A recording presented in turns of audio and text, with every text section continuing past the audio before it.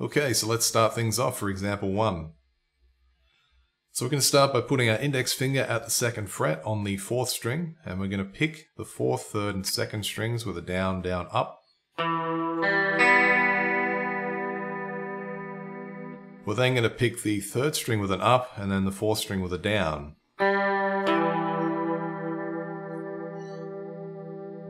So that bar will sound like this.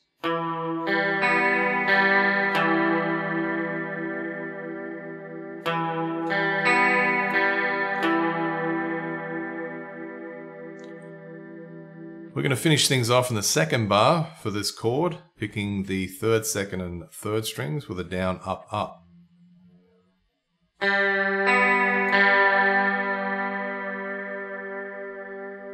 So let's have a listen to bars one and two.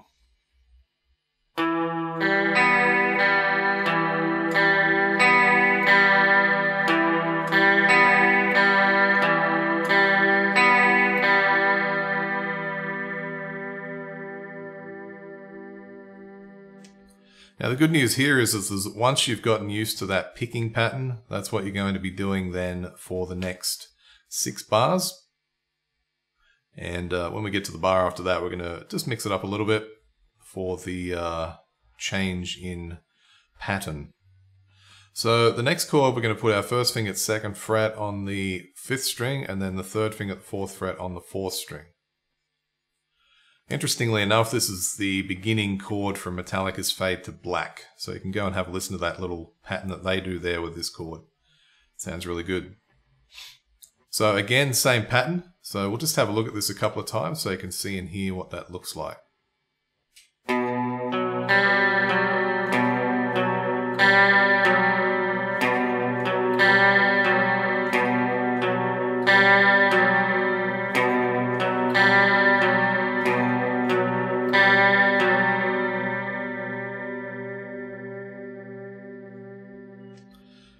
Now it's very easy to do the next part because all we do is take the same fretted shape and move that across a semitone. So you'll be in the third position, third fret, and fifth fret. And we will again be using the open third string with this. So let's have a look at that.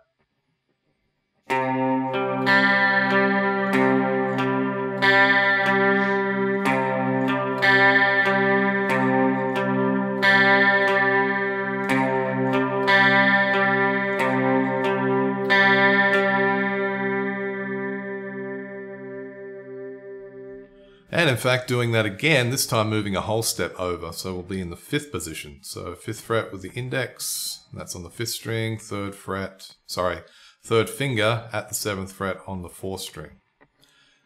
So these are basically power chord shapes with an open third string added.